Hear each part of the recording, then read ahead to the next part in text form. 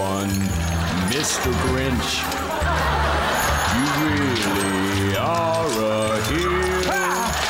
You're as heavy as a cactus.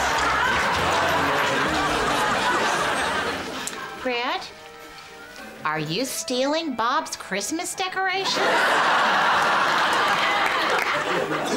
It's only stealing if you, uh, if you keep it. I'm throwing all this crap away. God, I'm married to the Grinch. I'm Mrs. Grinch. Well, as long as you're not Mrs. Tattletale, we'll be fine.